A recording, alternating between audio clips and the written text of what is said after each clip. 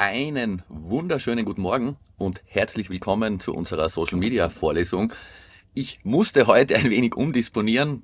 Temperaturen sinken, die ähm, Grippeerkrankungen nehmen wieder zu. Ähm, unser geplanter Gastvortragender musste den Vortrag verschieben auf den 7. Dezember. Ich habe im Moodle alles entsprechend abgedatet. Und Heute bietet es sich dann natürlich an, dass wir uns einem Thema widmen, das ich von Beginn der Vorlesung an, von Anfang an immer mit reingenommen habe. Als ich begonnen habe, die Social Media A-Vorlesung zu halten, war das Thema relativ neu. Mittlerweile ist es etabliert und alle haben sich an die DSGVO, Datenschutzgrundverordnung im äh, englischen GDPR, General Data äh, Protection Regulation, gewöhnt, sie im Arbeitsalltag mehr oder weniger implementiert. Und ich denke, was seit der Einführung passiert ist, abgesehen davon, dass wir mittlerweile alle die äh, Cookie Bars kennen, das war so eine, eine kleine Seitengeschichte, die äh, eines der Ziele, die Sensibilisierung im Umgang mit Daten, speziell mit persönlichen Daten, die wurde sicherlich bis zu einem gewissen Grad erreicht. Auf der anderen Seite hat die Datenschutzgrundverordnung als Querschnittsmaterie, die ja grundsätzlich jeden geschäftlichen Umgang mit Daten regelt und betrifft, auch vieles erschwert. Und ich sage mal so, die, die ursprüngliche Stoßrichtung oder die Idee der DSGVO, die ähm, bestand und besteht vor allem darin, die großen Anbieter, also in dem Fall unter anderem Social Networks, aber auch Suchmaschinenbetreiber und so weiter, stärker in die Pflicht zu nehmen. In den vergangenen Jahren fiel ja ganz besonders Meta, hieß damals noch Facebook, in mehreren Fällen auf, einerseits durch technische Probleme, bei denen teilweise auf Daten von Nutzerinnen zugegriffen werden konnte, andererseits auch schlicht durch fahrlässigen Umgang mit diesen Daten. Da gab es einige ganz unterschiedliche Fälle.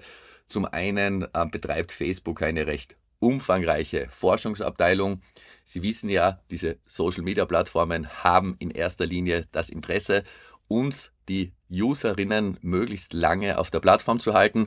Und um das zu erreichen, muss natürlich der Feed optimiert werden, beziehungsweise müssen die Inhalte so personalisiert werden, dass äh, wir eben möglichst viele Beiträge konsumieren, simpel gesagt. Jetzt liegt es natürlich im Interesse der Plattformen herauszufinden, welche Arten von Inhalten funktionieren besser. Und Facebook hat da vor einigen Jahren etwas gemacht, das auch im wissenschaftlichen Kontext hochgradig interessant ist, weil es sich wirklich um das typische Beispiel einer unethischen Studie oder eines unethischen Studiendesigns handelt. Und zwar, die haben eine Kontrollgruppe hergenommen, eben, das ist der Punkt dabei, ohne irgendjemanden zu informieren und haben dieser Kontrollgruppe vorwiegend ähm, negativ konnotierte Inhalte im Feed präsentiert eine Zeit lang. Also äh, eher äh, traurige, oh, ja, traurige Inhalte, emotional negativ besetzte Inhalte, um rauszufinden und eben zu messen, äh, ob das zu einer längeren oder kürzeren Aufenthaltsdauer führt. Nun, Sie können sich schon vorstellen, wo das ethische Problem liegt. Da geht es ja nicht nur um die äh, Nichtinformierung, sondern eine solche längerfristige Konfrontation mit negativen Inhalten kann sich ja tatsächlich äußerst unvorteilhaft auf die psychische Verfassung auswirken. Das ist nur ein kleines Detail. Im großen, im Big Picture geht es vor allem darum, wie diese Plattformen die Daten einsetzen, die sie über uns erheben, zum einen und zum zweiten, ähm, wie und unter welchen Umständen diese Daten weitergegeben werden dürfen. Das ist eine sehr komplexe Materie, weil auf der einen Seite leben wir selbstverständlich in einem digitalen Zeitalter, in dem Daten, der Austausch dieser Daten eine ganz, ganz wesentliche Grundlage sind. Auf der anderen Seite, und das war eben die Idee der Europäischen Union, sollte die DSGVO jetzt zwar nicht im engeren rechtlichen Sinn, aber von der Wertigkeit her den Schutz der, der personenbezogenen Daten auf die Ebene eines Menschenrechts heben. Das heißt, es handelt sich um ein sehr striktes Gesetzeswerk, ich komme da gleich nochmal darauf zurück, das aber eben keine äh, Lex Facebook darstellt, sondern das jeden betrifft, der im geschäftlichen Umgang mit Daten zu tun hat. Und da gibt es, denke ich, niemanden, auf den das nicht betrifft. Die DSGVO geht, bezieht sich grundsätzlich nicht auf digitale Datenspeicherung, wobei das natürlich einer der größten Anwendungsbereiche ist. Aber wenn Sie jetzt die kleine Tischlerei im Waldviertel hernehmen, ähm, die ihre Buchhaltung und ihre Kundenkommunikation vielleicht mit einer ähm, papierbasierten Ablage erledigt, dann gelten diese Regeln ganz genauso. Das hat den korrekten Umgang mit Kundendaten gerade für kleine Unternehmen sehr erschwert, die großen Plattformen aber kaum davon abgehalten, ihre Nutzerdaten entsprechend zu monetarisieren.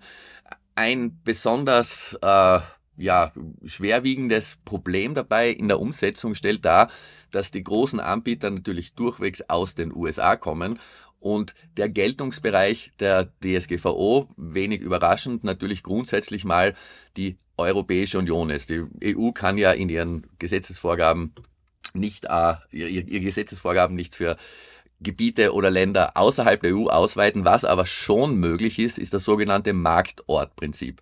Das bedeutet, jede und jeder, der seine Services, Dienstleistungen, Produkte innerhalb der EU anbietet, auch wenn das jeweilige Unternehmen den Firmensitz gar nicht auf EU-Gebiet hat, ist den Spielregeln der DSGVO unterworfen bzw. muss sich an diese halten. Das heißt, Meta, ähm, LinkedIn, Microsoft und so weiter, diese ganzen Unternehmen könnten natürlich die DSGVO ignorieren, dürften dann aber ihre Services nicht in der Europäischen Union anbieten. Dasselbe Prinzip gilt ganz genauso, wenn Sie jetzt beispielsweise in Thailand sitzen und dort Apartments vermieten, diese Apartments auch innerhalb der Europäischen Union anbieten, zum Beispiel über einen Online-Shop, dann gelten diese Bestimmungen ganz genauso. Die Idee ist es eben, Daten besser zu schützen und vor allem Missbrauch zu verhindern. Wie und in welcher Form das passiert, da werde ich gleich drauf zurückkommen. Weil wir in der Vorlesung aber nur 90 Minuten Zeit haben, ähm, kann ich Ihnen nur wenige Beispiele bringen und deshalb eine ganz, ganz dringende Empfehlung. Dieses Buch Networks of Control wurde äh, verfasst von Wolfi Christel und Sarah Spickerman. Äh, Wolfi Christel ist ein einer der, der glaube ich, äh, kompetentesten österreichischen Datenschutzexperten. Sie kennen vermutlich Max Schrems, auch sehr aktiv in diesem Bereich. Der hat ja erfolgreich Facebook bzw. Meta verklagt, genau wegen dieses Umgangs mit Daten. Und in diesem Buch, das Erfreuliche ist, es äh, gibt es als Printbuch, aber Sie können die vollständige Ausgabe hier auf dieser Webseite, die werde ich Ihnen anschließend auch im Moodle verlinken, als PDF herunterladen. Es ist ein sehr umfangreiches Buch und es ist kein Theoriewerk, sondern es dokumentiert Fälle beziehungsweise problematische Anwendungen von Daten, Datenmissbrauch, Wiedergabe, missbräuchliche Nutzung von Daten und so weiter. Falls Sie sich jetzt fragen, was heißt das in der Praxis? Was soll überhaupt diese missbräuchliche Verwendung von Daten sein? Ein ganz äh, simples, in dem Fall hypothetisches Beispiel. Sagen wir mal, Sie haben eine Kundenkarte bei einer Supermarktkette und diese Supermarktkette speichert Ihr Einkaufsverhalten. Äh, Sie feiern am Wochenende regelmäßig Partys bei sich zu Hause, laden alle Ihre Freunde ein und ähm, ja, kaufen regelmäßig größere Mengen an alkoholischen Getränken ein. Vollkommen harmlos, vollkommen legal in Österreich, aber stellen Sie sich mal vor, Sie wollen irgendwann eine private Zusatz-Krankenversicherung ja, abschließen und dieses Versicherungsunternehmen hätte Zugriff auf Ihr Konsumverhalten. Können Sie sich vielleicht vorstellen, dass äh, hoher Alkoholkonsum bzw. Einkauf in diesem Fall sich möglicherweise auf die Versicherungsbeträge auswirken wird? Das ist ein relativ drastisches Beispiel. Es, in, der, in der Praxis gibt es aber sehr viele Fälle, in denen Daten, manchmal personenbezogene, manchmal nicht personenbezogene, verwendet werden. Zum Beispiel, einige von Ihnen wissen das vielleicht, wenn Sie äh, Flüge buchen, wenn Sie nach Flügen suchen oder auch nach Hotels und Sie benutzen ein MacBook oder generell Apple-Hardware, dann werden Ihnen auf den meisten Plattformen deutlich höhere Preise angezeigt, weil Apple-User ein kaufkräftigeres Publikum sind. Und probieren Sie das ruhig mal aus auf zwei Rechnern, schauen Sie sich parallel denselben Flug an. Da spielen überall Daten rein und diese Daten äh, wirken sich auf ja, auf Angebote und auf ganz konkrete Themen unseres Lebens aus. In diesem Buch, in dem Networks of Control, sind eine Menge solcher Szenarien erklärt. Ich habe Wolfi Christel kennengelernt. Wir haben auch mit bei der NetIdee, das ist eine österreichische Förderung für, für Online-Digitalprojekte, nicht kommerzielle Open-Source-Projekte, die die Nutzung des Internet in Österreich fördern. Da bin ich in der Jury, ähm, hat Wolfi Christel auch, auch einige Projekte eingereicht und unter anderem ein Computerspiel namens Data Dealer produziert, das sozusagen im spielerischen Ansatz zeigt, wie dieser Datenaustausch funktioniert. Und hier beschreibt er vielfältige Szenarien, von ähm, Ultraschall-Audio-Beeps, die in Fernsehvideos eingesetzt werden, um übers Handy wiederum ein Retargeting zu ermöglichen, beziehungsweise festzustellen, ob jemand eine bestimmte Werbung gesehen hat. Da passieren ganz, ganz schräge Dinge, wenn Sie mal tiefer in diese Welt äh, der ja, des Datenmissbrauchs, ich glaube, das kann man ohne Übertreibung so sagen, eintauchen möchten, laden Sie sich dieses Buch herunter. Es ist gruseliger als die meisten Horrorfilme, denen man sonst so begegnet. Schwere Leseempfehlung auf jeden Fall. Bevor wir uns in die Details der ähm, DSGVO bzw. GDPR stürzen, wie gesagt, ich behandle dieses Thema nun schon seit mehreren Jahren. Trotzdem feiern wir in diesem Semester eine Premiere, die ganz besonders zentral unseren Bereich betrifft. Gesetzeswerke sind ja selten abgeschlossen, speziell wenn es um technologische Bereiche geht, die sich so schnell weiterentwickeln wie soziale Medien oder das, das Internet insgesamt. Und ähm, für die Europäische Union war das Thema Umgang mit Daten mit der Verabschiedung der DSGVO nicht abgeschlossen. Es gibt eine Reihe von, man kann es nicht wirklich als Folgegesetze bezeichnen, aber seit diesem Jahr ist ein Regelwerk in Kraft, das in dem Fall jetzt wirklich ganz konkret auf die großen Anbieter, auf die Social Media Networks abzielt. Und zwar der sogenannte DSA oder Digital Services Act. Das ist ein, ähm, keine Erweiterung der DSGVO, sondern da geht es darum, der DSA zielt vor allem auf die Transparenz ab. Welche Art von Transparenz? Naja, da geht es zum einen um die Moderationsbestrebungen der einzelnen Plattformen. Sie haben vielleicht mitbekommen, wir haben es in der Vorlesung auch schon erwähnt, dass Twitter bzw. X neuerdings, ich sage mal so, seit der Übernahme durch Elon Musk oder seit dem Kauf um, um schlappe 44 Milliarden Dollar ein wenig oder sogar ganz ordentlich in Schlingern geraten ist. Das zeigt sich auch an den wirtschaftlichen Daten. Die aktuelle Einschätzung, die aktuelle Einschätzung des, des Firmenwertes von Twitter liegt bei, wenn ich es richtig im Kopf habe, 20 oder 21 Milliarden Dollar oder waren es 19, um den, um den Dreh 20 Milliarden Dollar, sowas rum. Das heißt, innerhalb eines Jahres etwas mehr als die Hälfte des Firmenwerts vernichtet, wobei man natürlich sagen muss, das sind ohnehin relativ virtuelle Konstruktionen. Aber einer der Gründe besteht darin, dass Elon Musk relativ kurz nach der Übernahme einen großen Teil der Belegschaft von Twitter gefeuert hat.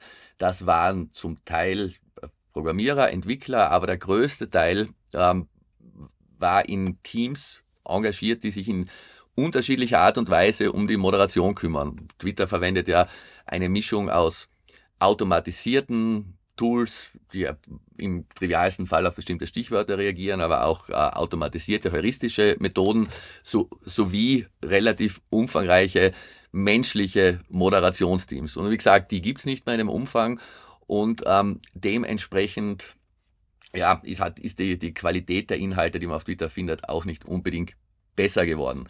Und dieses ganz konkrete Problem führt nun auch immer mehr dazu, dass die Europäische Union Twitter beziehungsweise auch andere Plattformen, die das missachten, mehr in die Pflicht nehmen will, wenn oder beziehungsweise der europäische Gesetzgeber sagt, die Plattformen müssen in der Lage sein, beziehungsweise müssen sich in die Lage versetzen, entsprechend äh, rechtswidrige Inhalte, da gibt es natürlich eine ganz breite Palette von ähm, pornografischen, kinderpornografischen, verhetzenden, sonstigen, rechtswidrigen, ähm, extremistischen äh, Beiträgen in Richtung Wiederbetätigung, all das, die müssen auf Meldung eben zeitnah entfernt werden. Das war auch schon bisher so, aber dieser DSA verpflichtet nun die großen Plattformen sehr penibel und sehr detailliert dazu, jeden einzelnen Akt, also Moderationsakt oder jede einzelne Entfernung von Inhalten zu dokumentieren und ab einer bestimmten Größe äh, entweder quartalsmäßige oder jährliche Berichte zu veröffentlichen. Diese Berichte müssen bestimmte Daten enthalten, unter anderem die Zahl der aktiven Nutzerinnen. Das ist gerade für uns Marketer hochgradig spannend, weil natürlich die Plattformen immer die Zahl der Accounts angeben. Das heißt, wenn Sie irgendwelche Mitgliederzahlen von Twitter, LinkedIn oder anderen Plattformen lesen, dann sind das die aktiven Accounts, die zumindest nicht offiziell als, als Bots ähm, identifiziert wurden. Und da sind natürlich immer eine Menge inaktiver Accounts dabei. Eine dieser Veröffentlichungspflichten umfasst die aktiven Nutzer, die sich in diesem Zeitraum tatsächlich eingeloggt haben. Die Plattformen müssen offenlegen, wie viele ModeratorInnen sie in den einzelnen Ländern, in den einzelnen Sprachen beschäftigen und auch erklären, wie ihre Content Moderation Policy funktioniert. Und das ist jetzt tatsächlich ein Gesetzeswerk, es ist äh, verpflichtend. Wenn die Plattformen diesen Aufforderungen nicht nachkommen, dann dürfen sie ihrer Geschäftstätigkeit innerhalb der EU nicht mehr weiter nachgehen. Das bedeutet, sie dürften ihre Services dann nicht anbieten. Das ist übrigens einer der Gründe, warum Threads Metas äh, Twitter-Konkurrent nach wie vor in Europa nicht verfügbar ist. Und die großen Plattformen sind jetzt dieser Verpflichtung erstmalig nachgekommen, weil im Oktober 2023 der Stichtag war für die Veröffentlichung dieser ersten Berichte. Das sind für Social Media Interessierte, für Marketer, aber auch für Kommunikationswissenschaftlerinnen einige äußerst spannende Daten drin und wir werden uns einige dieser Berichte heute auch ansehen. Aber alles der Reihe nach, beziehungsweise der äh, chronologischen Reihenfolge nach. Zuerst kam ja die DSGVO und dann ähm, der DSA-Act, ja, der Act, der Digital Services Act. Es gibt natürlich mittlerweile viele Rechtsanwälte, die sich auf Datenschutzfragen spezialisiert haben. Einer der bekanntesten ist Christian Solmecke von einer deutschen Rechtsanwaltskanzlei. Der hat einen sehr populären YouTube-Channel, in dem er immer wieder auch auf ähm, digitale Rechtsfragen eingeht, nicht nur Datenschutz, sondern es gibt ja auch andere Themen, Bildrechte, Urheberrecht und so weiter. Das ist ein Video, das er relativ kurz nach Inkrafttreten der DSGVO veröffentlicht hat und es zeigt sozusagen auf satirische und übertriebene Weise, in welche Richtung diese Regulierungen gehen. Ja, schauen wir uns das kurz an und dann gehen wir die Grundsätze der DSGVO durch.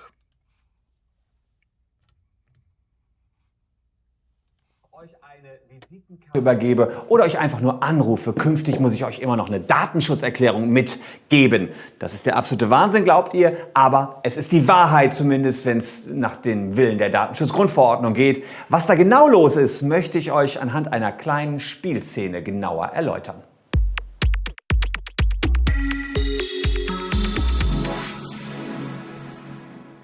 Hallo, ich bin Christian Solmecke, Rechtsanwalt und Partner der Kölner Medienrechtskanzlei Wildeborger und Solmecke und neben mir steht meine reizende Kollegin Scarlett. Äh, Scarlett hat sich bereit erklärt, mal mit mir in einem kleinen Rollenspiel darzulegen, was die Datenschutzgrundverordnung auch bedeuten kann. Und ähm, ja, nett, dass du das für uns machst. Gerne, Christian. Und wir versuchen jetzt einfach mal äh, ein paar Visitenkarten zu übergeben, äh, datenschutzkonforme Visitenkartenübergabe.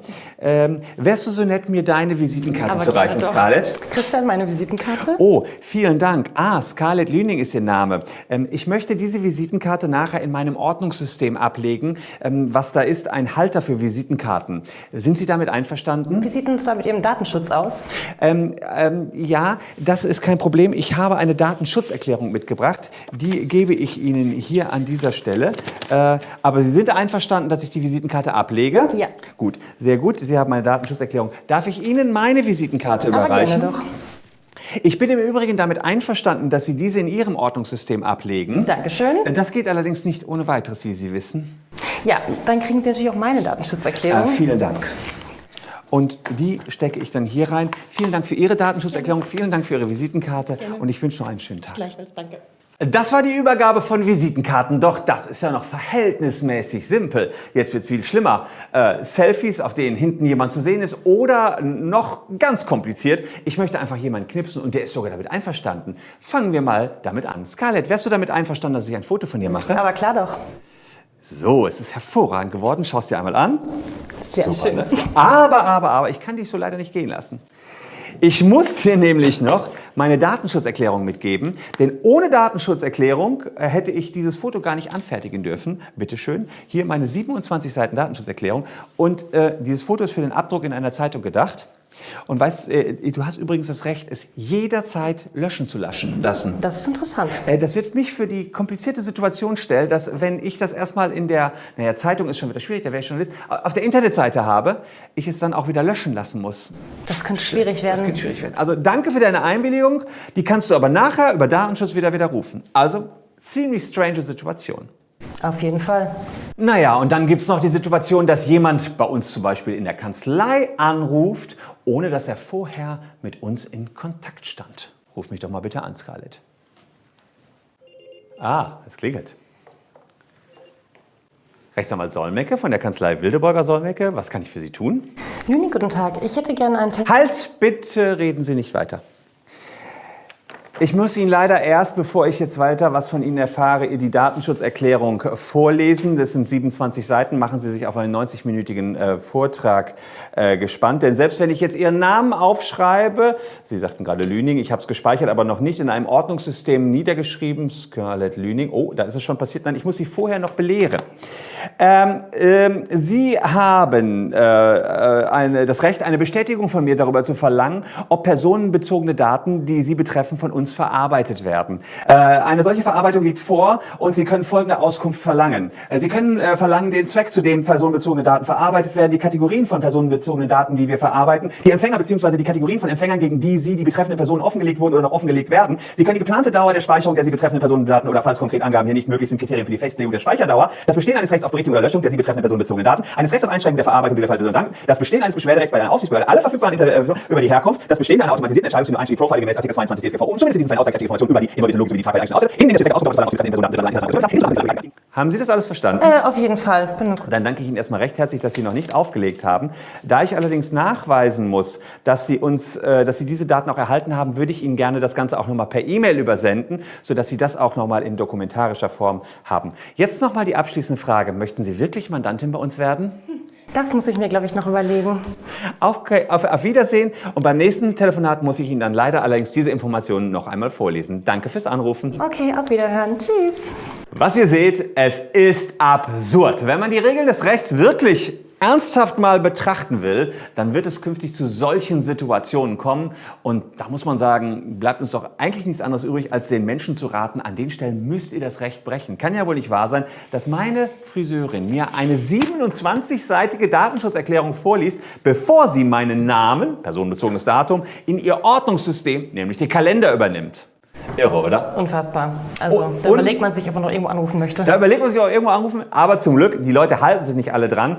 Äh, wir wollen nicht dazu aufrufen, in irgendeiner Weise geltendes Datenschutzrecht zu brechen, auf keinen Fall. Aber es ist schon krass, was da auf uns zurollt. Es ist nicht lebensnah. Es ist Überhaupt nicht lebensnah. Insofern, danke dir, Scarlett, dass Gerne. du dieses äh, kleine Spielchen mitgespielt hast. Äh, danke. Also, das war wie gesagt ziemlich zu Beginn des Inkrafttretens der DSGVO. Wir haben es überstanden und ja, das ist natürlich überspitzt formuliert, aber auf der anderen Seite diese Auswirkungen, kommt darauf an, wie ernst äh, die genommen werden. Meine, meine Großmutter äh, lebte in einem Pflegeheim und die hatten da so an den, an den Türen Namensschilder mit Fotos. Und als dann die DSGVO in Kraft getreten ist, musste ich tatsächlich unterschreiben, eine Datenschutzerklärung, dass das eben erlaubt ist, das Foto an der Tür zu befestigen. Wie in, aus dem Video auch herausgeht, wenn immer so heiß gegessen werden würde, wie gekocht wird, dann würde das natürlich überhaupt viele Business-Interaktionen verunmöglichen. Aber warum kommt es überhaupt zu dieser Situation? Zum einen muss man sagen, alles, was Sie in dem Video sehen, diese Verpflichtungen, die Übergabe der Datenschutzerklärung, wenn man ein Selfie mit jemandem macht, das bezieht sich alles überhaupt nicht auf den privaten Bereich, sondern auf geschäftliche Interaktionen. Das heißt, der Geltungsbereich der DSGVO erstreckt sich auf alle geschäftlichen Beziehungen. Das heißt jetzt aber natürlich nicht, dass Sie ein äh, riesiges Unternehmen sein müssen. Das betrifft Unternehmen jeglicher Größe, aber eben nicht nur Unternehmen. Wenn Sie beispielsweise eine Webseite betreiben, ein Blog oder was auch immer, und auf dieser Webseite äh, Werbung schalten, oder wenn Sie, selbst wenn Sie Produktproben erhalten, wenn Sie in irgendeiner Art und Weise einen wirtschaftlichen Vorteil aus dem Betrieb dieser Webseite ziehen, dann wird das als geschäftliches Angebot klassifiziert, selbst wenn es nur ein paar Euro im Monat sind und eine Nebentätigkeit. Und damit sind Sie von den Verpflichtungen der DSGVO voll inhaltlich erfasst. Aber wie schauen diese Verpflichtungen nun im Detail aus?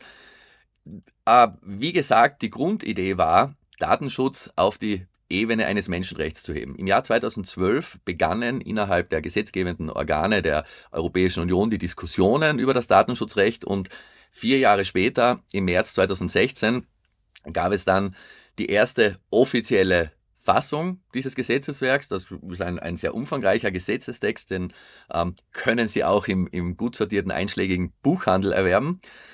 Am 25. Mai 2018, also vor mittlerweile etwas mehr als fünf Jahren, war der Stichtag für die Anwendbarkeit. Was bedeutet das? Europäisches Recht wird in, der, in Brüssel beschlossen und dann haben im Normalfall sind das zwei Jahre die nationalen Gesetzgeber, in Österreich eben das Parlament, Zeit, diese EU-Vorgaben in nationales Recht umzuwandeln. Wenn das nicht passieren würde, also wenn ein Land diese Frist versäumt, dann würde das ursprüngliche Gesetzeswerk automatisch in Geltung gehen.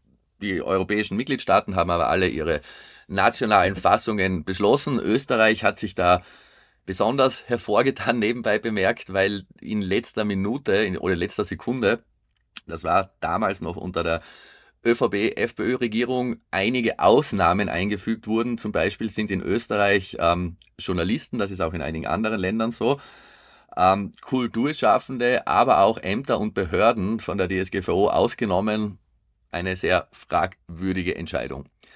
Ähm, es war sozusagen der erste Schritt und schon damals war relativ klar, dass die DSGVO nicht der Weisheit letzter Schluss sein wird, sondern dass es da auch noch einige Zusatzbestimmungen brauchen würde. Aber die DSGVO ist eben das Grundlagenwerk und sie ersetzt zum einen die bisher geltende EU-Datenschutzrichtlinie, aber auch sämtliche nationalen Richtlinien. Das heißt, es ist ein Standard, wo es einfach darum ging, den Umgang mit Daten, den Datenschutz auf europäischer Ebene zu vereinheitlichen.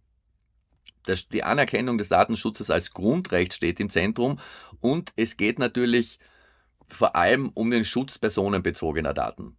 Personen, die, also Daten, die bestimmten Personen zugeordnet werden können. Wie Sie es vorher im Video gehört haben, das kann der Name sein, ähm, eine E-Mail-Adresse, eine Wohnadresse und innerhalb dieser personenbezogenen Daten gibt es nochmals besonders schutzwürdige Daten. Das wären beispielsweise Ihre medizinischen Behandlungsdaten, Religionszugehörigkeit und so weiter. Die gelten nochmal als besonders sensible Daten. Was sagt die DSGVO? Nun, das Grundprinzip besteht darin, dass die DSGVO im Kern sagt, es ist verboten, Daten zu speichern. Das mag Ihnen jetzt etwas skurril vorkommen, möglicherweise. Immerhin beruhen unsere digitalen Medien ja auf der Datenspeicherung unter anderem. Da kommt aber ein Aber um die Ecke, beziehungsweise ein Außer. Die DSGVO sagt, es ist verboten, Daten zu speichern, außer. Und dann definiert sie eine Reihe von Ausnahmen, Situationen, in denen es erlaubt ist, Daten zu speichern, aber nur für einen bestimmten Zeitraum unter ganz bestimmten Bedingungen und vor allem auch penibel genau dokumentiert. Es muss für den Kunden, die Kundin völlig äh, transparent sein, was mit seinen, ihren Daten passiert, wie lange die erhalten bleiben und ebenfalls im Video angesprochen, eines der Prinzipien äh, besteht eben darin, dass Sie in der Lage sein müssen, selbst wenn Sie irgendwann mal irgendjemanden die Erlaubnis gegeben haben, Ihre Daten zu speichern, eine vollständige entweder Korrigierung oder auch Löschung dieser Daten anfordern können müssen. Es gibt einige rechtliche Bestimmungen, die an sich diesem Datenspeicherverbot entgegenstehen. Zum Beispiel aus dem Wirtschafts- bzw. Finanzrecht sind Sie als Unternehmen verpflichtet, sämtliche, äh, das hat steuerrechtliche Gründe, sämtliche Rechnungen, Belege, Transaktionsdaten sieben Jahre lang aufzubewahren. Wenn es da anderweitige, anderweitige sozusagen gesetzliche Bestimmungen gibt, dann overrulen die die DSGVO. Das sind aber sehr wenige. Jetzt kann man natürlich ein Gesetz verabschieden, das sehr streng ist. Wenn es keine entsprechenden Strafen gibt, dann erweist sich das in der Regel als relativ zahnlos. Und genau deshalb hat der Gesetzgeber absurd, geradezu absurd hohe Maximalstrafen vorgesehen. Die können bis hin zu einigen Prozent des Jahresumsatzes eines Unternehmens gehen und äh, sollten in ihrer drakonischen Höhe eben die Umsetzung, ja, ich sag mal, fördern. Was diese um, konkrete Umsetzung betrifft, ich habe das damals ähm, sehr genau live verfolgt, weil ich eine Webseite betrieben habe und ich musste dann, also ein kommerzielles Blog, eine Unternehmenswebseite und ich musste dann diese WordPress-Seite entsprechend den DSGVO-Vorgaben anpassen. Da gehören eine Menge Dinge dazu. Zum Beispiel muss jede kommerzielle Webseite eine Datenschutzerklärung anbieten. Dieser Datenschutzerklärung muss sehr detailliert und genau beschrieben werden, welche Daten wann wie gespeichert werden. Was da drin steht, ist relativ individuell, weil es komplett von der jeweiligen Webseite abhängt. Haben Sie beispielsweise ein Login, können Personen wie bei einem Blog üblich Kommentare verfassen. Kann man sich als Webseitenbetreiber aussuchen, ob ähm, ob man sich registrieren muss vor dem Verfassen von Kommentaren, aber auch wenn man sich nicht registriert, hinterlassen dann möglicherweise Leute die E-Mail-Adresse. Wie kann man sicherstellen, dass sie die später wieder verändern können? Ähm, beim Login braucht es eine Checkbox, mit der man sich einverstanden erklärt, dass diese Daten gespeichert werden und so weiter und so weiter. Und wenn dann noch Drittservices eingebaut sind, zum Beispiel Google Analytics oder ähm, wenn Sie Inhalte von Twitter oder Social-Media-Plattformen einbinden, dann kommt es auch zu einem Datenaustausch mit diesen Drittwebseiten. Das muss ebenfalls alles ganz penibel aufgeschlüsselt werden. Kurz gesagt, das ist nichts äh, mittlerweile ist das recht etabliert und es gibt viele Dienstleister, die sich darauf spezialisiert haben. Aber das ist im Großen und Ganzen nichts, was sie so nebenbei auf einer Liftfahrt erledigen. Und ja, wenn ich das mal so sagen darf, ich glaube, sehr viele ähm, Consultants und, und Rechtsberater haben auf jeden Fall sehr stark von der DSGVO profitiert, weil, wie gesagt, letztendlich alle Unternehmen verpflichtet waren, nicht nur ihre Webseiten, sondern eben ihre entsprechenden Datenspeicherprozesse anzupassen. Grundsätzlich verlangt die DSGVO, dass Datenspeich, Datenschutz bereits, und das Prinzip nennt sich Privacy by Design, bereits in der Konzeption neuer Services mitbedacht werden soll. Und wie schon erwähnt, man hat sich hier für das Marktortprinzip entschieden. Das heißt, die Bestimmungen gelten für jeden, der seine Produkte und Services innerhalb der EU anbietet. Das Unternehmen muss nicht notwendigerweise seinen Firmensitz hier haben. Es ist auch keine Änderung möglich. Sie können die, die äh, Bestimmungen nicht beispielsweise durch AGBs overrulen, wenn sich jemand registriert auf einer Webseite und Sie schreiben in den Bedingungen rein, ich erkläre mich einverstanden, dass meine Daten ähm, nicht gemäß der DSGVO behandelt werden. Das ist gesetzlich schlichtweg nicht möglich. Das heißt, man hat hier wirklich konsequent ein relativ striktes System geschaffen. Es geht nicht per se um digitale Daten, wobei die natürlich den größten Anteil haben. Personenbezogene Daten, deren Schutz hier im Zentrum steht, sind Informationen, die sich auf eine identifizierte oder identifizierbare natürliche Person beziehen. Das kann, wie gesagt, alles sein, was mit unseren Eigenschaften körperlicher Natur, aber auch sonstigen äh, Attributen zu tun hat, von Name, Wohnadresse, Telefonnummer und so weiter. Dazu gehören aber auch Online-Kennungen. Beispielsweise gab es einige Gerichtsentscheidungen, wenn Sie sich im Internet bewegen und auf eine Internetseite zugreifen, dann ähm, läuft, läuft dahinter ein technischer Prozess ab, bei dem IP-Adressen übermittelt werden. Jedes Gerät, das im Internet ist, mein Computer jetzt genauso wie Ihrer, hat eine IP-Adresse. Anhand dieser Adressen, sehr simplifiziert ausgedrückt, kommunizieren Computer miteinander. Und ähm, Sie könnten überhaupt ist nichts, das man ausschalten kann. Sie könnten keine Webseite aufrufen, ohne Ihre eigene IP-Adresse zu übermitteln. Jetzt ist es so, wenn Sie einen Provider haben, 2023 bei den meisten Providern, ein Smartphone nicht unbedingt, aber reden wir mal von den Festnetzanschlüssen, dass Sie eine fixe E-Mail-Adresse, Entschuldigung, eine fixe IP-Adresse vom Provider zugewiesen bekommen. Das heißt, ähm, die kann sich zwar mal ändern, aber die ist über einen langen Zeitraum gleich. Personen von außen wissen jetzt nicht, wenn sie beispielsweise auf ORF zugreifen, dann sieht unter Anführungszeichen der ORF-Server ihre IP-Adresse, aber der ORF kann jetzt nicht zuordnen, wem diese IP-Adresse gehört. Das weiß nur Ihr Provider. Wenn Sie Ihr Internet von Magenta beziehen, dann kann Magenta sagen, ähm, diese IP-Adresse war zu diesem Zeitpunkt diesem Kunden zugewiesen. Das ist übrigens auch ein Prinzip, mit dem sehr viele, leider nicht alle, weil es da auch Möglichkeiten gibt, das technisch zu verschleiern, aber mit dem sehr viel Online-Kriminalität aufgeklärt wird, speziell im Bereich der Kinderpornografie weil man eben manchmal anhand dieser IP-Adressen die Personen ausforschen kann. Die Frage ist jetzt aber im Zusammenhang mit der DSGVO, sind diese IP-Adressen personenbezogene Daten? Und da haben einige Gerichte gesagt, ja, das ist sicherlich ein Grenzfall, weil wie gesagt, wenn ich jetzt Ihre IP-Adresse habe, kann ich nicht rausfinden, zu welcher Person die gehört, außer ich bin eben die Polizei und kann dann auf, auf äh, richterliche Anordnung den Provider um diese Auskunft bitten. Die Ausnahmen von der DSGVO betreffen den privaten und familiären Lebensbereich. Das heißt, es geht tatsächlich nur um geschäftliche Tätigkeiten.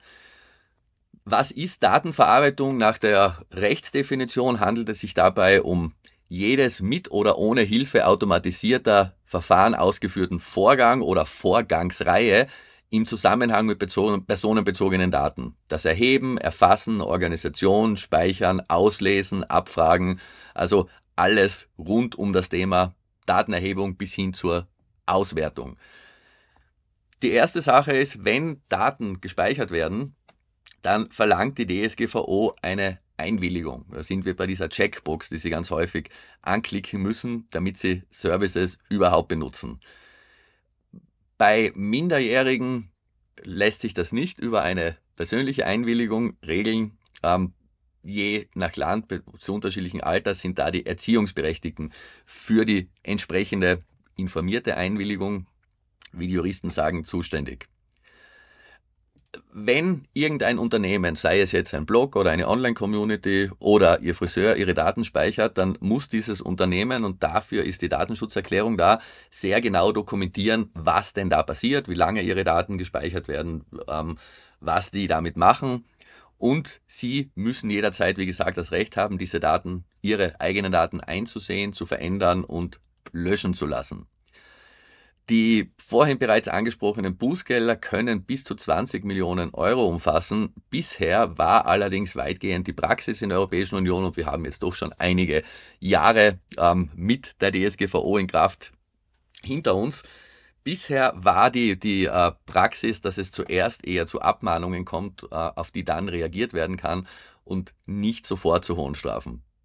Diese Rechte auf der Seite des Benutzers betreffen also das Informationsrecht, Auskunfts- und Widerspruchrecht, das Recht auf Berichtigung und Löschung und auch das Recht auf Datenübertragbarkeit. Das ist der Grund, warum Sie bei allen Plattformen, ob das jetzt Facebook ist oder Twitter oder LinkedIn, in der Lage sein müssen, das ist kein, keine äh, Nettigkeit dieser Anbieter, sondern gesetzliche Vorgabe, ihre eigenen Daten herunterzuladen, also das Archiv ihrer Daten. Da ähm, das dürfen Ihnen die Plattformen nicht vorenthalten.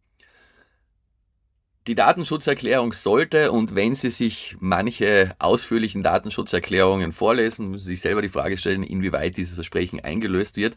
Die müssen äh, klar, verständlich und transparent formuliert sein.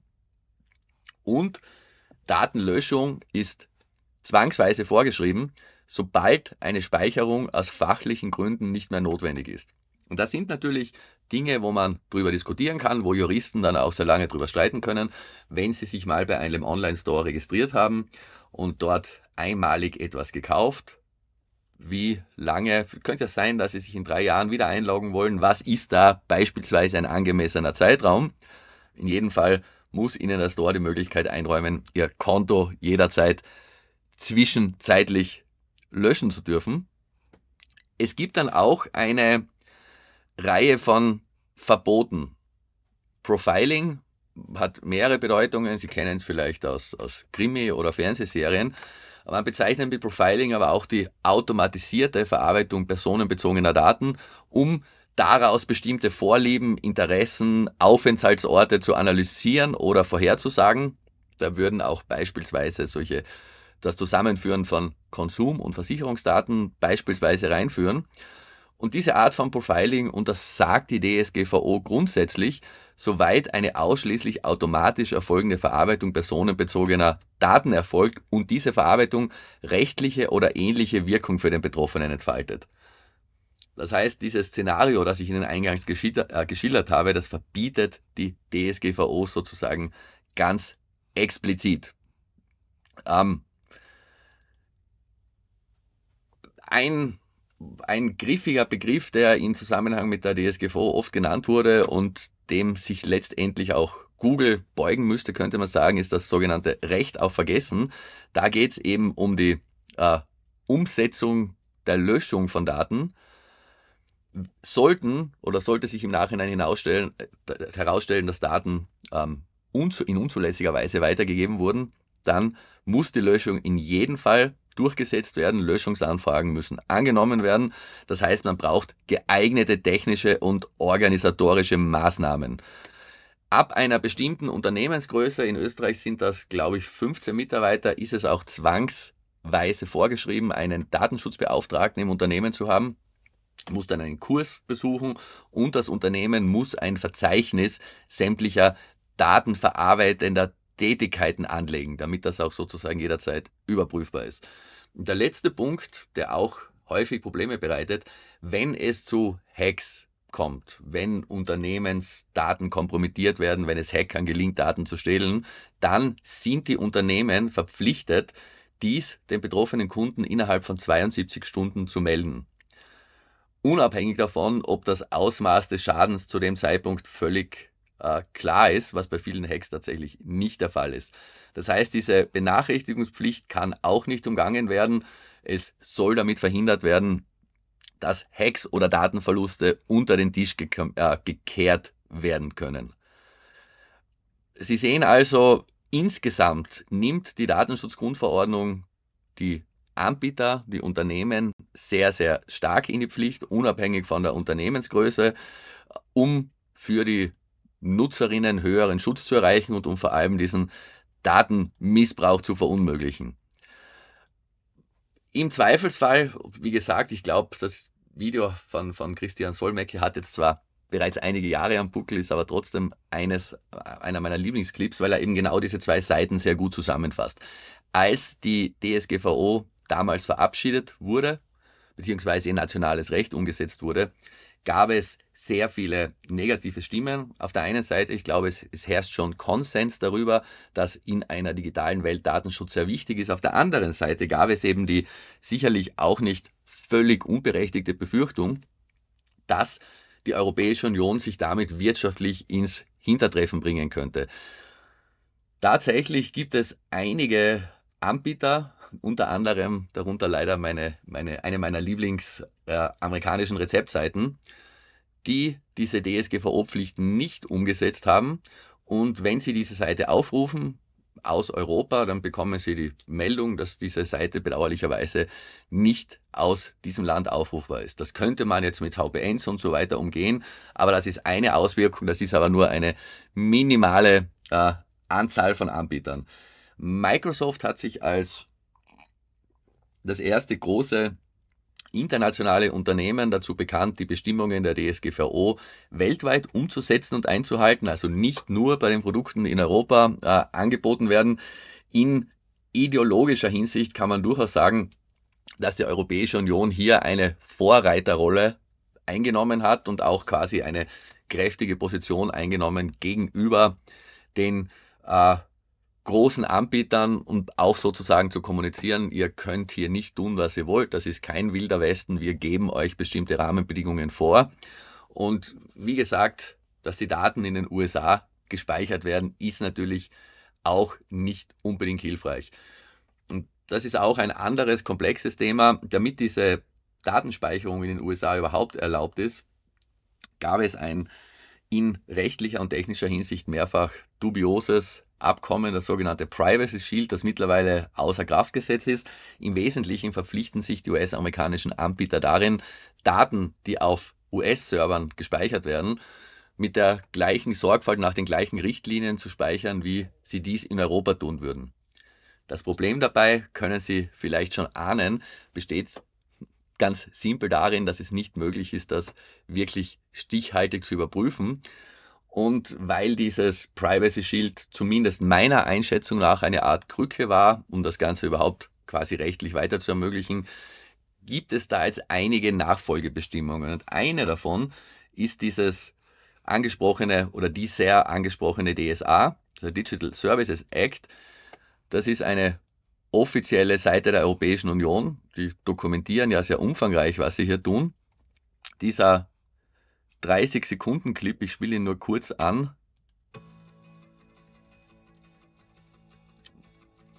Der erklärt sozusagen kurz, worum es der Europäischen Union hier geht. Empowering User, Transparenz und so weiter. Nicht sehr äh, substanziell. was bedeutet das Ganze im Detail? Von der Idee her, der Digital Services Act und der Digital Market Act, zweiterer bezieht sich auf E-Commerce, form a single set of rules that apply across the whole European Union. They have two main goals to create a safer digital space in which the fundamental rights of all users of digital services are protected. Und zweitens, to establish a level playing field to foster innovation, growth and competitiveness, both in the European single market and globally.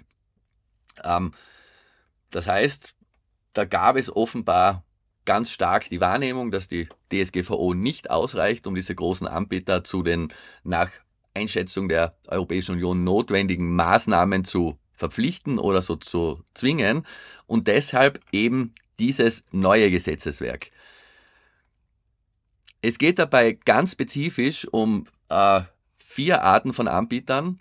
Die Very Large Online Platforms, und die sind nach Definition, da geht es darum, wie viel äh, Prozent der Bevölkerung erreicht werden können. Das ergibt in der gesamten Europäischen Union eine Zahl von 45 Millionen, auf die man sich geeinigt hat. Also sprich, wenn ein Service 45 Millionen Nutzerinnen oder mehr hat, dann fällt das unter die Very Large Online Platforms. Das ist eine überschaubare Zahl. Da gehören eben genau die ganzen großen ähm, Social Media Plattformen auch dazu. Dann gibt es Online-Plattformen, das sind die kleineren äh, Hosting-Services, reine ähm, Cloud- und Web-Hosting-Services, da würde auch Dropbox und so weiter reinfallen. Und dann gibt es die Intermediary Services. Das sind alle ähm, Unternehmen, die Infrastruktur bereitstellen. Unter anderem fallen da auch sämtliche Internetprovider mit rein. Wie gesagt, diese Very Large Online Platforms, ähm, unübertroffen elegant abgekürzt als VLOPs, das ist eine überschaubare Zahl. Da gibt es auch hier die Liste. Das geht von AliExpress über Amazon Store, App Store, eh die üblichen Verdächtigen. Booking.com ist auch so groß. Und da sind eben auch unsere Social Services dabei. Und zwar im Detail Facebook, die Google Services, Instagram, LinkedIn, Pinterest, ebenfalls mehr als 45 Millionen Reichweite in Europa, Snapchat, TikTok, Twitter, Wikipedia, YouTube und Salando. Diese 19 großen Anbieter, die sind am striktesten erfasst von diesen Bestimmungen. Ähm, die müssen unter anderem halbjährlich diese angesprochenen Berichte abgeben. Und die sind jetzt zum ersten Mal erschienen vor kurzem. Ähm, die, bei den großen Suchanbietern oder auch bei den Intermediaries gibt es nur zwei, Bing und Google Search, die davon betroffen sind. Aber wie gesagt, alle ähm, Social Media Networks müssen sich grundsätzlich an diese Bestimmungen halten. Ich werde Ihnen äh, das auch verlinken, wenn Sie das genauer vergleichen möchten. Es gibt eben unterschiedliche Bestimmungen für diese vier Kategorien. Da sind quasi die Dinge, die die tun müssen. Und Sie sehen bei den Very Large Online Platforms, ähm, die müssen auch unter anderem ihre Maßnahmen gegen Abusive Notices and Counter Notices offenlegen. Das entwickelt sich ja teilweise bei manchen Themen, zum Beispiel beim Russland-Ukraine-Konflikt in vielen Social-Media-Plattformen zu einer Art, wie nennt man das, äh, Kopf an Kopf rennen. Es gibt Fake News, verhetzerische Propaganda, die wird gemeldet und dann von den Plattformen hoffentlich entfernt. Worum es hier geht, ist der Missbrauch dieses Mechanismus, wenn nämlich Trolle oder Personen, die eben gezielt versuchen, die öffentliche Meinung zu beeinflussen, diesen Meldemechanismus nutzen, um unliebsame Beiträge zu entfernen, die aber keine Fake News sind, sondern die eigentlich vollkommen ähm, legale und legitime Beiträge darstellen, die aber dann sozusagen gezielt gemeldet werden. Also das geht schon sehr ins Detail, ist eine relativ umfangreiche Liste, äh, betrifft auch Werbetransparenz und so weiter. Und wie gesagt, jetzt im Oktober 2023 mussten die großen Plattformen erstmals diese geforderten Berichte veröffentlichen. Das war auch überhaupt das erste Mal und diese Daten sind, das handelt sich um europäisches Recht, auch tatsächlich nur verfügbar für die einzelnen europäischen Länder, nicht international. Man kann vermutlich gewisse Rückschlüsse ziehen auf den Anteil der aktiven Nutzerinnen. Das ist ja etwas, das uns ganz besonders interessiert. Aber wie gesagt, was die Europäische Union betrifft, haben wir jetzt da wirklich deutlich mehr Transparenz bekommen. Apropos Transparenz, die ähm, EU hat sich nicht lumpen lassen und sozusagen zum Launch dieses DSA auch eine öffentlich zugängliche Datenbank angelegt. Das ist diese Transparency DSA EC Europe.eu. Welcome to the DSA Transparency Database ist derzeit noch in der Beta, aber hier wird sozusagen wirklich in Echtzeit dokumentiert, was auf den Plattformen so an Moderation vor sich geht. Ich, hab, ich klicke jetzt mal hier auf den Bereich Analytics und da kommt man zu einer Übersicht. Diese Statements of Reason bedeutet, da müssen Plattformen dokumentieren, warum sie Inhalte entfernt haben. Also quasi ein Statement zum Grund der Löschung. Sie sehen, insgesamt gab es 168 Millionen solcher Statements. Sie haben hier auch Statistiken zu den aktivsten Plattformen, einen zeitlichen Verlauf. Ich weiß nicht, was da am 18.10. passiert ist, offenbar eine besonders ausgeprägte Trollwelle. Sie können sich diese Daten auch tagesaktiv, äh, tagesaktuell ansehen.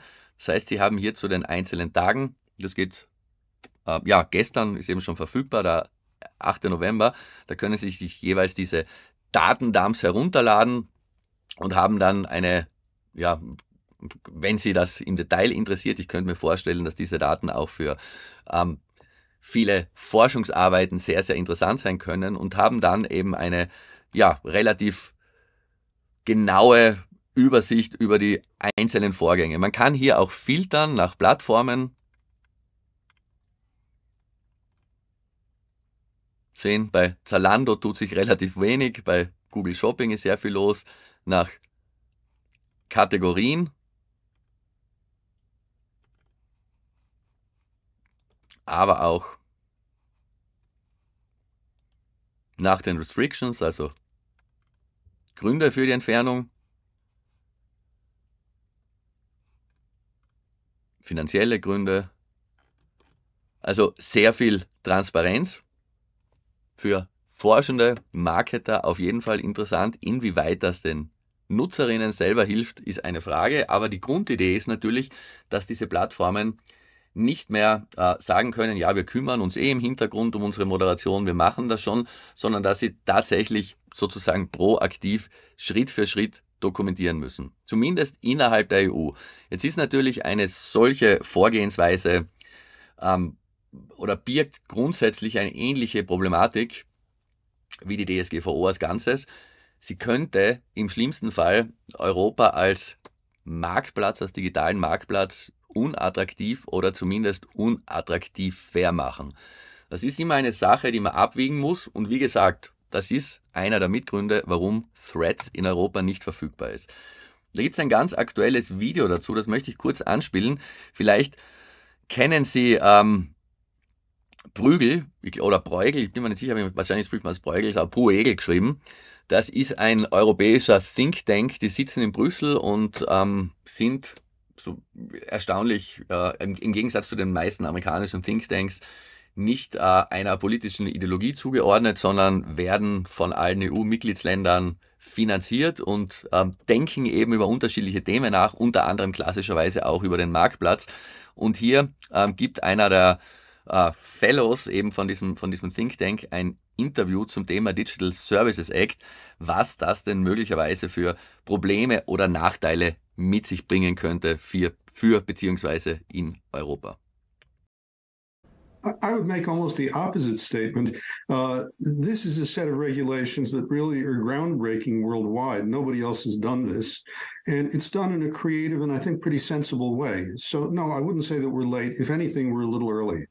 In a time when you have the IRA out of the United States as well, and you're trying to get more investment into tech in Europe, uh, the UK also trying to make itself a hub for technological advancements of any sort, uh, does this bode in any way positively or negatively then for Europe? There are some risks in all of European regulation of digital tech platforms. Uh, if you look at GDPR, a number of papers suggest that it's been negative for innovation. Uh, the Artificial Intelligence Act also carries some risks, and this one could as well. So there are trade offs to be made. There are always trade offs to be made. Uh, here, the, the trade off was that uh, in terms of protecting European consumers and also in terms of protecting European society, from risks to elections, risks to public health, risks from lots of different kinds of misinformation and disinformation, that it was warranted to take action now.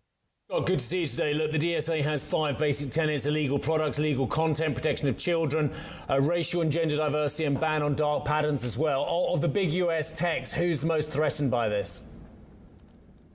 Uh, I would say by a by a wide margin, the uh, the biggest threat is likely to be to Twitter. Um, some of the large platforms like uh, Google, YouTube have generally very mature and nuanced processes for monitoring content. Uh, Twitter is likely to have problems not only because their their standards are a bit looser, but more importantly because they may not have the physical capacity to do the kind of monitoring that's going to be called for. At the point when Elon Musk bought the company, they had about 7,500 employees. Today, it's about 1,500. One has uh, partly that's due to people being canned, and partly they quit. But one has to assume when that many people walk out the door, a lot of institutional knowledge walks out the door with them. So I, I, would say that they probably are at greater risk. Some companies will be at greater risk than others, and some less risk, just in the nature of their business models. Uh, among those 19 companies are companies like Booking.com and Wikipedia, which have very different business models and uh, probably relative to content moderation, uh, different aspects, different issues. I mean, there was a lot of headlines, wasn't it? I think, Scott, it was what, November last year, where uh, they actually shut their Brussels office over at Twitter.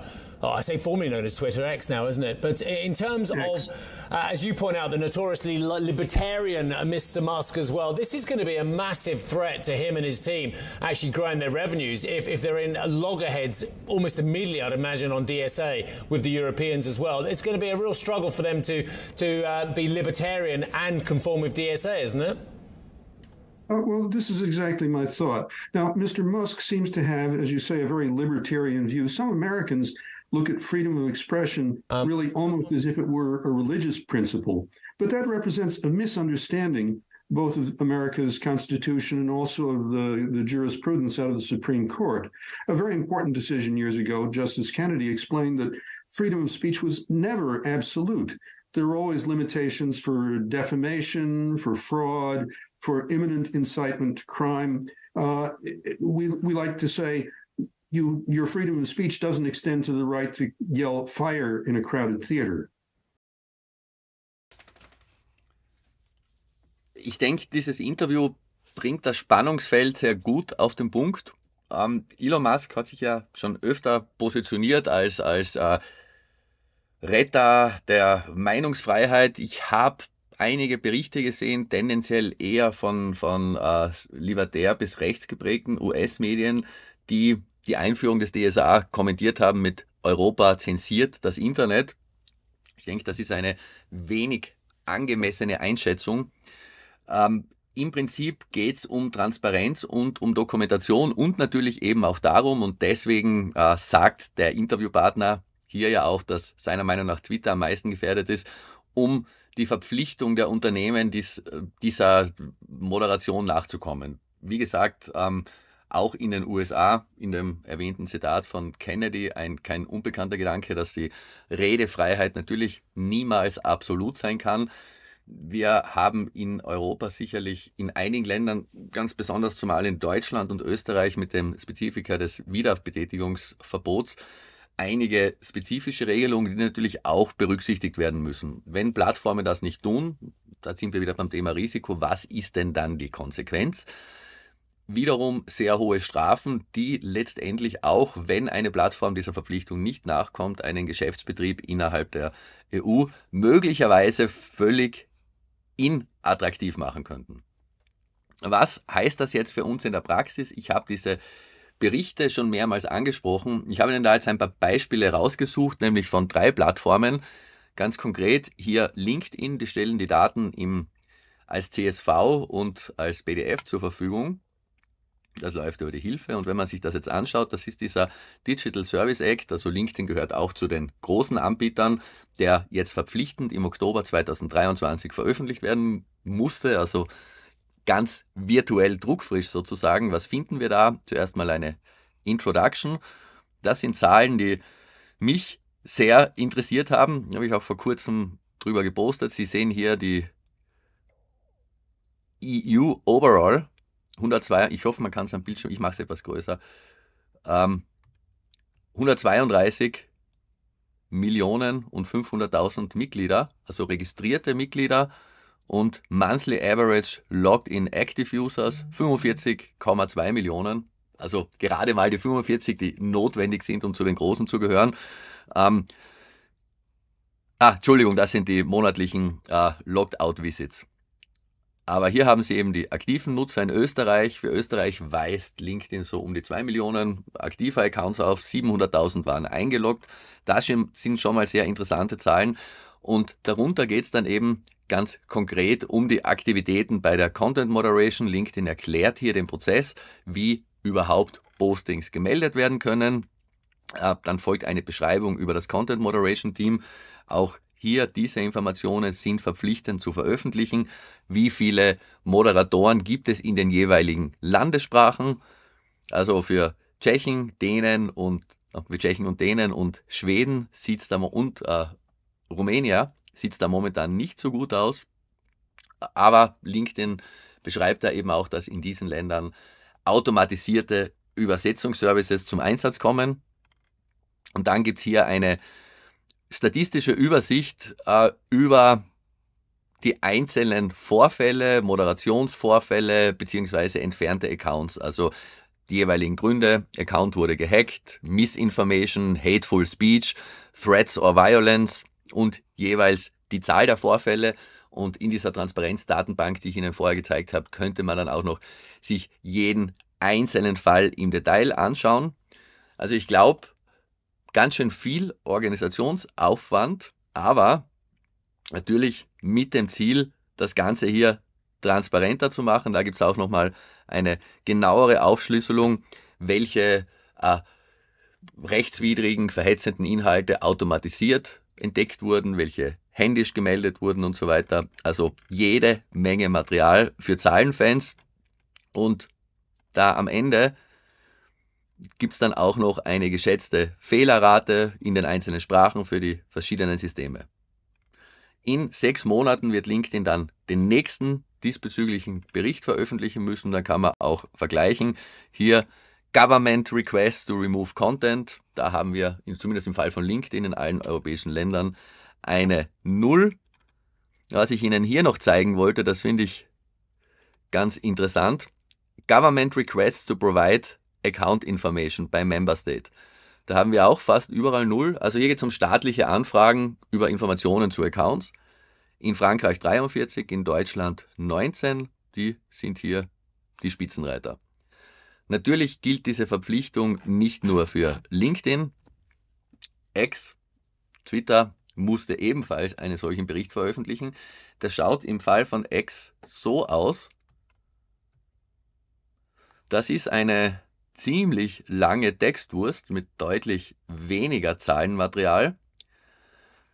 Ganz interessant, auch hier die gewählte Formulierung. The overwhelming majority of content on X is healthy, meaning it does not violate our terms of service and rules or our policies such as hateful conduct and so on and so on. Restrict, this is where our new freedom of speech, not reach enforcement policy is used for content that may be interpreted as potentially violating our policies, meaning it's awful but lawful, we restrict the reach of posts by making the content less discoverable and we're making this action more transparent to everyone. Also anstatt grausliche, wenn man es mal wörtlich übersetzt, Inhalte zu löschen, werden die weniger ausgespielt. Bezweifle sehr stark, dass Twitter mit diesem Ansatz durchkommen wird. Und dann erst als dritte Eskalationsstufe gibt es die Entfernung von Inhalten. Ähm, hier wird dann relativ ausführlich beschrieben, wie die Moderationsprozesse laufen, wie die implementiert sind, welche Technologien zum Einsatz kommen. Aber interessanter und soweit verpflichtend sozusagen gibt es hier auch eine Aufschlüsselung, die müssen die Plattformen mitliefern, ähm, welche Themen, also hier wieder die Kategorien Abuse and Harassment, Child Sexual Exploitation nach Ländern. So 78 Entfernungen in Österreich, 179 in Belgien. Diese Zahlen muss Twitter hier auch veröffentlichen. Also auch hier einige Devils. Und zum Vergleich auch nochmal die Publikation von Facebook. Facebook hat da ein eigenes Transparency Center eingerichtet schon länger und da gibt es jetzt eben auch den entsprechenden DSA-Bericht. Da muss man sich den Zeitraum aussuchen. Da ist jetzt nur April bis September zur Verfügung, weil das eben, wie gesagt, die erste Ausgabe ist und bei Facebook gibt es, beziehungsweise bei Meta gibt es natürlich beide Plattformen, zum einen Facebook und zum anderen Instagram. Wenn wir uns hier mal, wollen wir hier mal einen Blick auf Instagram werfen, einen Klick auf Download Report wird hier das PDF generiert. Relativ ausführlich, auch mit einer Einleitung, Struktur, Struktur dieses Beitrags. Und dann haben wir hier wieder die ähm, Number of Authority Orders. Auch das durchaus auffällig. Da geht es wieder um diese äh, Informationsanfragen von staatlicher Seite. Da hatten wir vier in Belgien, fünf in Frankreich, zwei in Ungarn und 604 in Deutschland. Ganz spannend. 37 in Litauen. Insgesamt 666. Auch eine bemerkenswerte Zahl. Und dann ist das wiederum aufgeschlüsselt nach der, der äh, Art des Vergehens. Eben wieder diese unterschiedlichen Kategorien von Kindesmissbrauch, Kinderpornografie, äh, Harassment, äh, Drogen, ähm, promotende Inhalte, Menschenschmuggel und so weiter. Kann man sich oder möchte man vielleicht äh, meinen, 666 Vorfälle sind in diesem Zeitraum von immerhin ähm, sechs Monaten vergleichsweise wenig für so große Plattformen. Natürlich sind wir hier auf diese Selbstauskünfte angewiesen. Hier gibt es dann auch noch einige Beschreibungen. Auf Instagram die höchste, die, die äh, ja, größte Form der oder die häufigste, der häufigste Verstoß, auch wenig überraschend, sind Probleme bzw. Inhaltsentfernungen im Zusammenhang im weitesten Sinn mit Intellectual Property, also Copyright bzw. Urheberrechtsverletzungen. Ja, das sind also diese Berichte. Die DSA beschert uns die ab sofort von den großen Plattformen im halbjährlichen Rhythmus. Das heißt zumindest, dass wir wesentlich validere Zahlen über die tatsächliche Nutzung haben werden. Ähm, und die Plattformen sind natürlich stärker in die Pflicht genommen. Ich glaube, was die Transparenz oder den Umgang mit Daten insgesamt angeht, ist es natürlich ein Flickwerk, zu dem sehr viele Bastelstücke gehören. Mit der DSGVO wurde ein erster, sehr ambitionierter und durchaus wichtiger erster Schritt gesetzt. Die DSA oder der DSA, der Act, setzt diese Entwicklung in eine Richtung fort, die jetzt viel konkreter auf die großen Plattformen abzielt. Denn wie gesagt, der unser kleiner Waldviertler Tischler wird selbst mit seinen Kundendaten, selbst wenn er der böseste Tischler im ganzen Waldviertel wäre und diese Daten unbedingt missbrauchen möchte, dann wird er eigentlich einfach aufgrund der relativ geringen Menge der Daten auch nur begrenzten Schaden anrichten können. Diese großen Plattformen mit ihren hunderten Millionen von Datensätzen macht natürlich durchaus Sinn, die stärker in die Pflicht zu nehmen. Und ähm, wenn man bedenkt, dass das Thema Fake News bzw. Verbreitung von Information, Beeinflussung der öffentlichen Meinung ein sehr, sehr relevantes ist, dann finde ich das durchaus einen begrüßenswerten Schritt. Finanziell umbringen wird das keine dieser Plattformen. Ähm, die machen sehr, sehr soliden Gewinn. Tatsächlich, wie auch aus dem Video hervorgegangen ist, Twitter könnte wohl am meisten Schwierigkeiten haben. Ich zumindest würde keine 10 Euro drauf verwetten, dass es Twitter in einem Jahr noch innerhalb der Europäischen Union gibt. Vielleicht ja, vielleicht nein. Vielleicht hat Elon Musk aber auch ganz was anderes damit vor. In diesem Sinne, danke fürs Live dabei sein bei diesem Deep Dive ins Thema Datenschutz. Wir sehen uns nächste Woche an dieser Stelle. Ich wünsche Ihnen noch einen schönen Tag.